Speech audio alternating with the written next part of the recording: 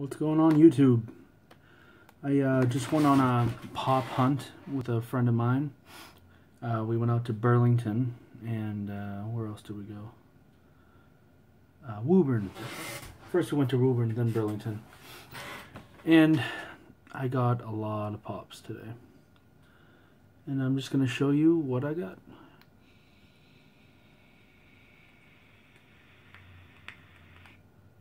Let's check them out. Alright, so first, this is one of the ones I got at uh, Newbury Comics. It's Fallout Brotherhood of Steel. I just picked up Fallout 4. The game is incredible. I love it. I didn't really like Fallout 3 very much, but this one is fantastic. This is one of the best looking Fallout Pops, I, I believe. The other one I really want is Deathclaw. He looks pretty damn cool too. Alright, so I got that one. And then, this is the one I got at Harrison's Comics. Or, not Harrison's Comics, Harrison's Collectibles Comics, whatever. Anyway, they didn't have too much there, which was kind of a letdown, but they did have some exclusives. And this one in particular I was really happy to get. Walking Dead Rick Grimes. With blood splatter all over him. This is a really cool pop. It's uh, it's hard to find. You can get it on eBay. There's only three Harrison comics in Massachusetts. I think that's it in the world, actually. I'm not sure. But yeah, this one is really sweet.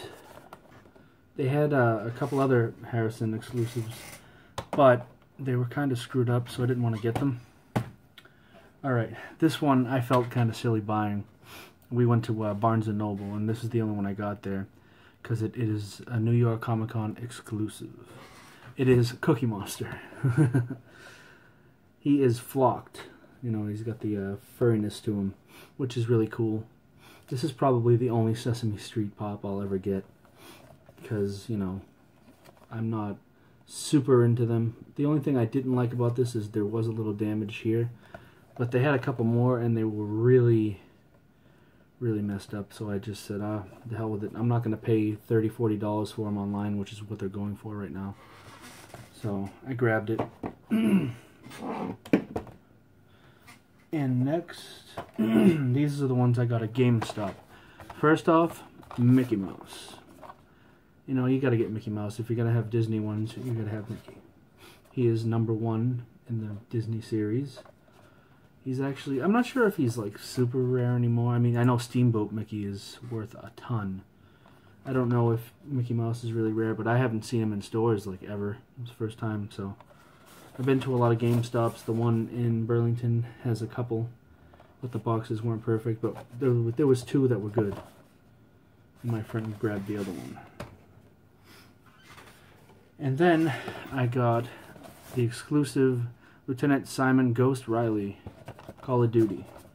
GameStop exclusive. Thought this was really cool because he's got the skull bandana on his face, which is really awesome.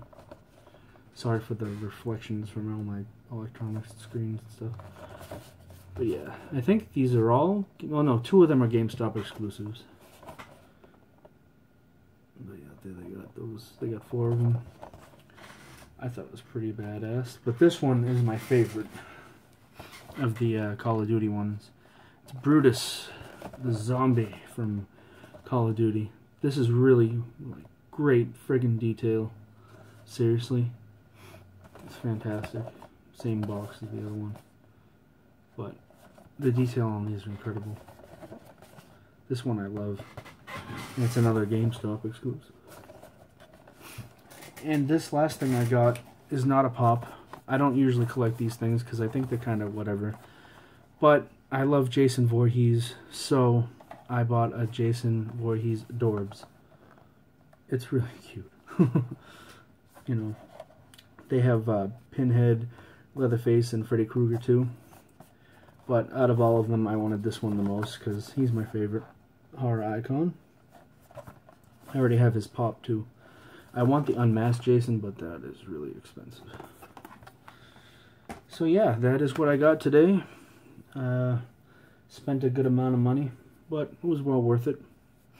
I'd say uh, my favorite of the day was probably the Call of Duty ones. I didn't even know there were Call of Duty pops out. I haven't seen them on the website or anything, so I'm happy I got those. And yes, that is it. Oh, I lied. I went to uh well, I think I got this. No, I got this at Newbury Comics too. The science fiction mystery figures. I already opened it because I was impatient. And what I got was Bender, which is like one in six, which isn't super rare, but I love Bender, so that was fine with me. I want Doc too. A lot of the science fiction ones I don't really care for because I'm not a big science fiction guy. But I would like the Iron Giant, him, Godzilla would be cool aliens. That would be nice. But that is it. I hope you enjoyed watching. Please subscribe if you'd like. You know, uh, like my uh, video if you want. Uh, check out my friend Jeff's page. Uh, I forget what it is. I'll I'll add a link to this. All right. Have a good night, day, whatever. Later.